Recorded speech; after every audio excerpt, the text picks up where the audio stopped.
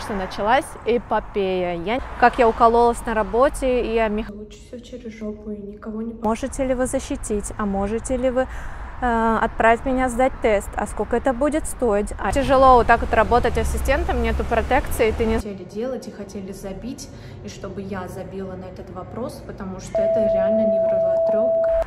Всем привет, дорогие друзья! С вами снова Йогер-блогер. Вы на канале Йогер-блогер и с вами Вики Луч из Калифорнии, из Беверли-Хилл. Записываем вам видосики о том, как мы работаем ассистентами стоматолога. Распишу вам, запишу видео и скажу, что мы решили с этой работой. Здесь уже два года находимся фактически. Скоро тоже запишу видео об итогах двух лет жизни в Калифорнии, в частности в Лос-Анджелесе. Поэтому сегодня я расскажу видео о том, как я укололась на работе и о механике вообще работы стоматологии, о проблемах, о сложностях. Я люблю записывать сложности, но я не ною в том плане, что я решаю вопросы и их решаю, так скажем, да, перехожу через них и иду дальше. Но о сложностях важно записывать, чтобы не было иллюзий, потому что у многих есть иллюзии касательно Америки. Вот. Но что касается работы, вот я укололась. Ситуация была такая, что я была на операции, это была операция, это не стерилизовала инструменты, и я просто секшеном делала э, секшен так э, зуба, потому что там остались корни, да, зуб мы удали, удалили коронку, остались корни. Сейчас сложно вам это представить, но считайте, у меня гаун, очки, да, вот я на операции, мне и так тяжело дышать, и я беру вот этот застрявший в секшене зуб, он очень острый был. Я его взяла пальчиками, да, чтобы секшн заработал. И, короче, поранилась. Э, и двойную перчатку тоже поранила. Представляете, двойную перчатку. Я не знаю, как это может быть. Я уже записывала об этом видео, но решила переснять, потому что оно оказалось очень э, агрессивным, потому что я была дико злая, потому что началась эпопея. Я не знала, что будет так сложно попросить у пациентки сдать тест, либо найти ее прошлый тест. Я знаю, она здоровая была, молодая, красивая, ну, молодая, ей за 50 лет, но она выглядела очень молодо, то есть по ней скажешь, что ей лет там, не знаю, 35, то есть она худенькая, японочка. Не суть важно, да?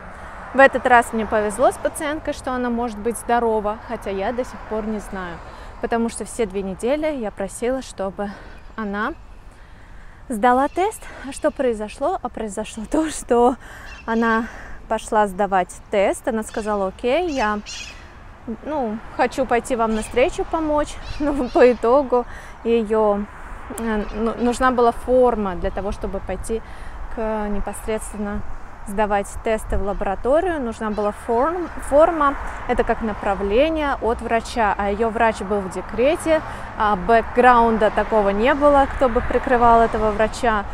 Короче, была целая эпопея. На следующий день, когда она пришла, без формы, без всего, ее послали нафиг. Вот она вам система медицинская, да, тупая. И в итоге все это легло на мои плечи и на плечи врача который был на этой операции. Но по большому счету должен был это все делать и решать мой босс, который нанял меня непосредственно на работу. Работала я с другим врачом. И, в общем, пока я искала пути выхода, ко всем обращалась, всю неделю просила заполнить или дать мне рап рапорт, он называется, либо репорт о том, что произошло на операции, да, что произошел какой-то инцидент на работе. Я, короче, запрашивала, просила, и в итоге ничего так и не получила всю неделю, потому что менеджер была в отъезде, она, в общем, так скажем, э, заболела, и ее не было. Прикрыть тоже было некому. В общем, была целая эпопея. По-другому даже не скажешь. Плохие моменты я бы и хотела записывать, но я была очень агрессивная и зла. А когда я уже успокоилась, об этом даже, знаете, не хочется вспоминать. Но...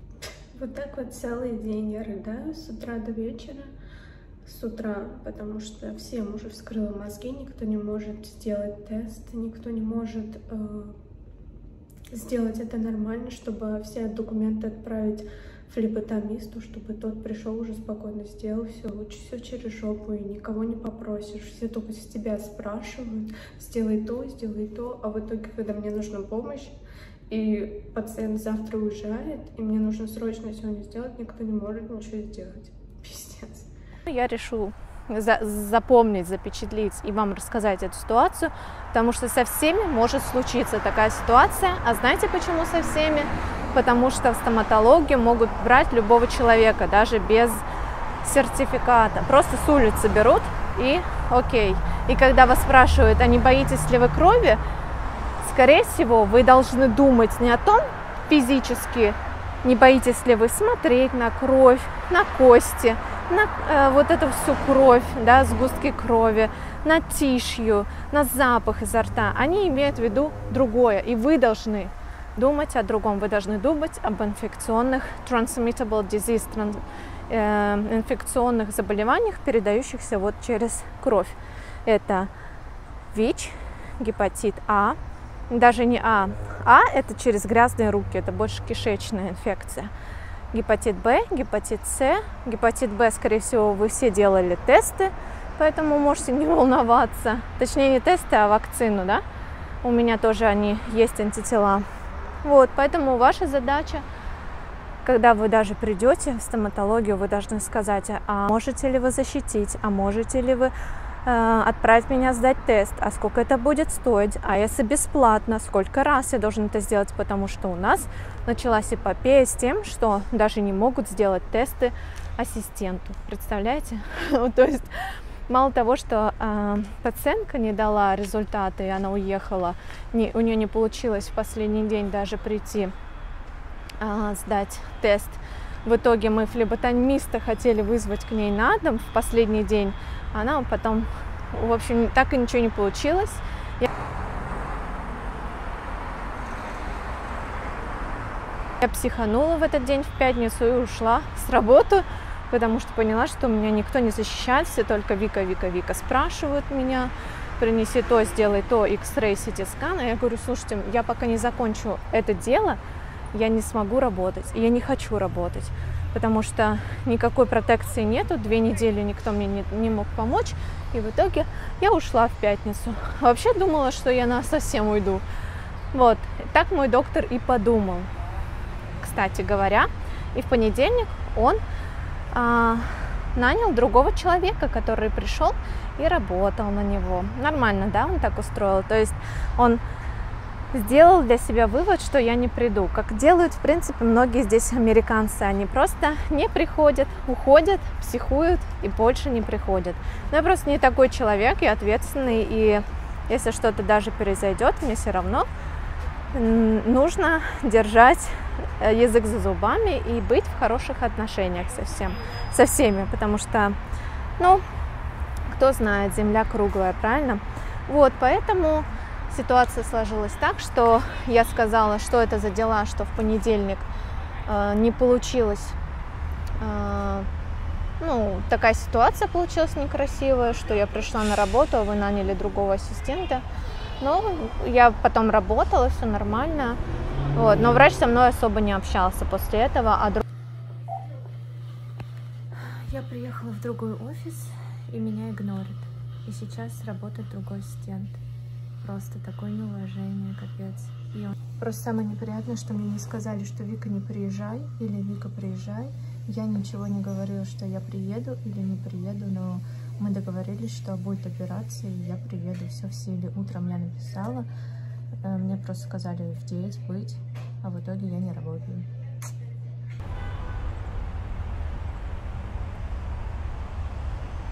Другой мой босс отправил меня сдать тесты. Я сдала тест, все хорошо. И все, и работаю теперь. Результаты хорошенькие. Вот. Так, сегодня я сделала тест. Мне сказали, нужно было делать сразу, не immediately, сразу, как я укололась, но эта разборка у нас получилась около двух недель. Я запрашивала у пациента тесты, но согласно протоколу нужно было делать тесты сразу же мне. То есть мне сразу должны были отправить в лабораторию, которая всего лишь находится этажом ниже.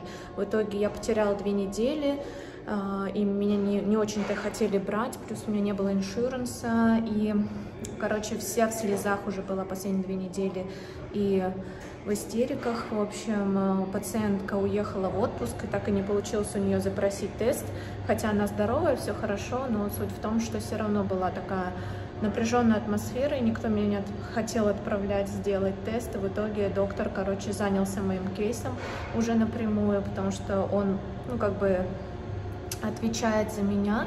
И в итоге он меня все вчера сделал за два дня, правда, очень долго тоже было. Два-три дня мы ждали, пока все разродятся, пока там созвонятся с лабораториями, решат этот вопрос. И вот мне сегодня сделали с утра. Все было очень хорошо, все качественно сделали. Три пробирки взяли на гепатит и э, Б и С, антитела и антигены чтобы посмотреть, может, у меня уже есть антитела к гепатиту Б, они должны быть, потому что я делала вакцину, буду скоро снимать видео про вакцинацию в России и в других странах, чтобы переехать в США, какие нужно сделать вакцины. Я вообще буду снимать все про США. Сейчас мне нужно бежать на работу, я тут на лестничной площадке стою. Короче, ребята, поснимаю вам, а, что будет. Но тест этот, оказывается, нужно будет еще сдать через месяц и еще через полгода. Так как я увольняюсь, мне нужно спросить этот вопрос, что мне делать. Теперь я поняла, почему не хотели делать и хотели забить, и чтобы я забила на этот вопрос, потому что это реально невровотрепка, это платно, но для них это ничего не стоит. Но так я увольняюсь, мне нужно будет еще раз приходить. А если, не дай бог, что-то найдут, то лечение здесь стоит очень дорого. Вот, и, конечно же, это опасно для здоровья. Но все ассистентки мне говорили, что нужно это сделать сейчас же, немедленно, но доктора меня не хотели слушать. Вот такой вот был у нас кейс на работе, поэтому все две недели были очень нервные, поэтому я уже хочу, очень сильно хочу уйти. Но я не могу оставить ни их, ни себя в таком неопределенном положении. Конечно, им выгодно, чтобы я ушла уже, и они забыли про меня, но это мое здоровье, и они должны за него отвечать, потому что это случилось на работе. Я не просто поранила себе палец, Э, на кухне своей. Это было на операции, поэтому я уже побегу. Получила свои результаты теста. Здесь у них ремонтик такой прикольненький. Все, короче, перегорожено. Видите, тут каждый стульчик вот так вот через одно сиденье. Вот, получил результаты теста, что очень хорошо, что у меня еще есть антитела от гепатита Б, которые я делала вакцину еще в Москве, поэтому антитела еще должны быть, наверное, лет на 10, поэтому антитела у меня есть, а все остальное чистенько, так что все хорошо. Пока.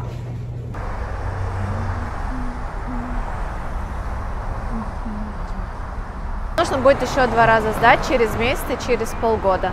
Так что я сюда еще приеду, вот, поздаю кровь. До пациентки, ну, так и не получилось дозвониться, потому что она уехала в другой штат.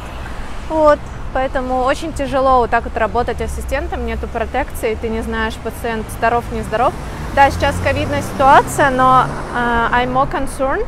Я больше волнуюсь о таких инфекциях, которые очень дорогостоящие, опасные, которые действительно, ну, нужно знать, они легко передаются, да, ковид, он легче, конечно, передается воздушно-капельным путем, да, через слюну, через вот это все, то, что на, как раз-таки происходит в dental офисе, но через кровь тоже СПИД передается. Конечно, СПИД, не сам СПИД, а ВИЧ именно, да, передается именно через кровь. Transmittable disease называется.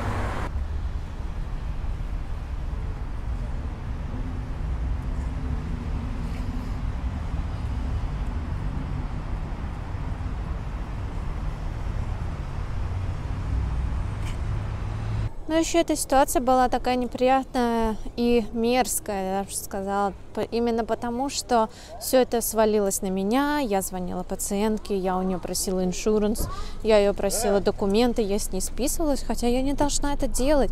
Как бы это не, неправильно. Должен быть адвайзер, либо человек, который этим занимается. Я уже обратилась к HR и попросила меня отправить куда-нибудь сдать кровь. И в итоге доктор пришел немножко агрессивный и в недоразумение такой мой босс, который вот за меня отвечает, он такой типа в недоумении, как будто это я, я что-то с этого имею, как будто я у них деньги берут, как будто происходит, э, ну, как будто я каким-то мошенничеством занимаюсь. То есть вот это вот неприятная была ситуация.